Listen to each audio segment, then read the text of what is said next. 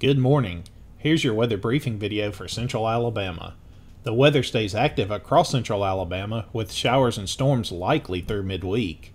Back to more typical summer weather to end the work week. And could we have a tropical system headed to the Gulf? Here's what's in today's video. We have a surface front that will begin to move into the northwestern parts of the area and progressing southeastward through the day today. Clouds will be on the increase from the west, and scattered to numerous showers and storms will be likely as the front pushes through the area. Some heavy rain is possible, and a few flooding issues may happen thanks to poor drainage. No severe weather is expected, but I wouldn't be surprised if we have a couple strong storms at some point.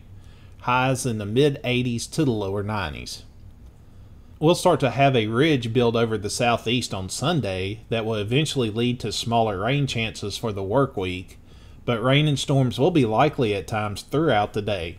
Once again, severe weather is not likely, but a strong storm or two will be possible. Highs in the lower 80s to the lower 90s. Rain and storms will once again be likely on Monday as an active pattern is still set up over the southeast. Highs in the mid 80s to the lower 90s. Tuesday will pretty much be a carbon copy of Monday, with highs in the upper 80s to the lower 90s. On Wednesday, we start to see the ridge finally start to take control of our weather. Heat will begin to rise and rain and storm chances begin to fall.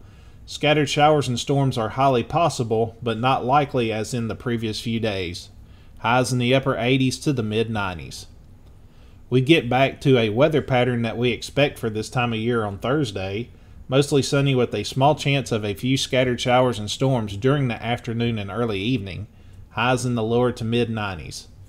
And we'll keep that trend going to end out the forecast period on Friday, mostly sunny and hot with a few scattered showers and storms possible by afternoon, highs in the lower to mid 90s. And now the tropics. Near the Lesser and Greater Antilles, an area of disturbed weather over the central tropical Atlantic Ocean is expected to interact with an approaching tropical wave during the next several days. Some development of this system is possible while it approaches the Lesser Antilles during the early to middle part of next week and moves generally west northwestward near the Greater Antilles toward the latter part of the week.